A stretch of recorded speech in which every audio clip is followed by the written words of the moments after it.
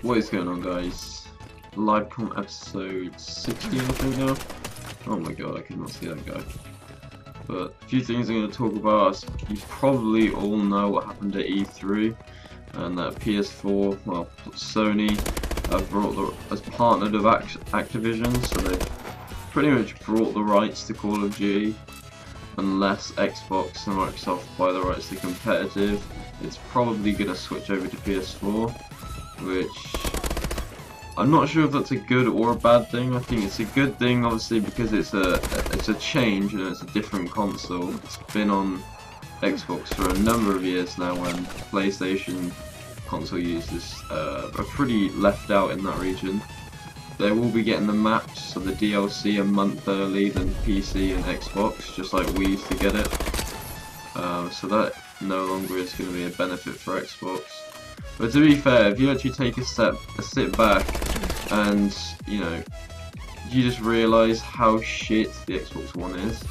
Like, yeah, I know that we're finally going to be be able to play um, Xbox 360 games on it, but that should have happened on the day it came out, really, because like the dashboard is so confusing. Barely anyone knows how to do like anything on it. And the PS4 is a better graphics console anyway. And there really has been no complaints, no bad things realistically said about the PlayStation, other than now PlayStation users have to pay for Xbox for PlayStation Live, I don't know what they call it, but Xbox users have had to do that like since the beginning. So I don't think it's going to make that much of a difference people switching over to PlayStation. Um, I think it's a good thing for PlayStation to be honest. Like, I feel I feel like a lot more people are now just gonna play PlayStation, and even everyone, a lot of people do favour Microsoft and Xbox, um, but it's always a debate.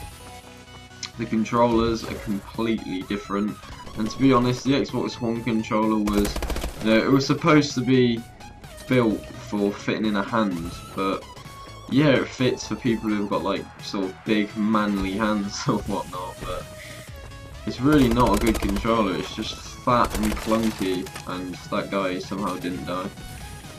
Um, so, I don't... To be fair, the more you sit back and think about it, the more downfalls there are on this, on the Xbox. Um, I don't know myself whether I'll be getting a PS4. I can't really see it myself, to be honest. Just for the simple fact that, you know, I can't really be bothered to just buy a PS4. I've literally had my Xbox One for about four weeks, so don't know if I'm going to buy one, but I might. Um, but if it's if if Microsoft or Xbox do buy the rights for competitive Call of Duty, then that will be that will be fine anyway. So shit. Literally, I just, this is my second game on. In my first game, it felt like I had an aimbot. I don't really know why. I was just literally just, just melting. And Microsoft released, obviously, that new Elite controller. And I found, what the fuck? And I found out the price is 129.99, so it's actually more expensive than the Scuff. And personally, I think Scuff's a better.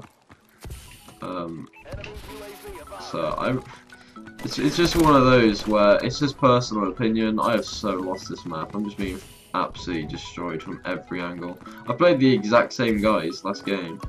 It's just Detroit free for all is so fucking shit. What an absolute freak. I don't think it's a bad thing. I've already said, you know, I don't actually think that it's going to be a bad thing in any way, really, moving over to PS4. Just obviously a lot of Xbox users, you know, don't like PS4, and if they do follow competitive, you know, they're going to be a bit annoyed. But we don't know if Microsoft or Xbox will buy the rights for it. So if they do, then competitive will be safe on Xbox. But the controllers on PS4 aren't that bad either. A lot of people think that the controllers are really like small and whatnot, but they're a lot better than the PS. Oh my god, I've actually been punched this game like a hundred fucking times. So bloody annoying. I think the controllers are are quite good. Like naturally, my thumbs when I hold like put my hands in a controller position, like one's just higher than the other, just because that's what I'm used to. But it would only take a matter of days to get used to a controller. I mean, the Xbox 360 was probably the best console, best controller as well. And when I bought my Xbox One, it took me literally like two or three days to adjust, that was about it. Oh my god, these kids just don't die. I've been sponged all game. Uh, I need an an intro, or well, obviously I don't really need an outro because I, I use my face cam, which is pretty cool. But I need an intro, like, but I just think it would make my videos a little bit more personal, or so like it's just a single branding that I can just carry on to all my other videos. So, I mean, everyone knows what an intro is. Are you taking the piss? What? I just had no bullet registration. Like, none of this was happening last game. I was just absolutely destroying everyone. Now. Okay, that. Oh, for fuck's sake. I hate that guy who's just running around with the MP11. Thanks for watching the video, guys. If you did enjoy it, please leave a like on the video. And uh, subscribe is always appreciated if you are new around here. I did play like absolute shit in that game, so it wasn't the best gameplay, but it's just realistically just getting the news across to you. So, yeah.